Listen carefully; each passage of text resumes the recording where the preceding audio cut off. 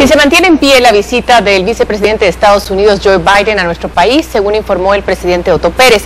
Esto luego de que Biden cancelara su visita a Uruguay por una fuerte gripe. Pero en relación a Guatemala, la Casa Blanca no ha hecho ningún comunicado.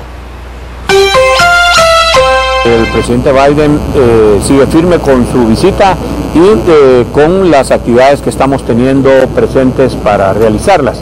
Eh, como ustedes saben, vamos a tener una actividad bilateral con el presidente Biden. Después de la actividad bilateral sería una cumbre con los tres presidentes, en donde va a venir también el presidente de Honduras y el presidente de El Salvador.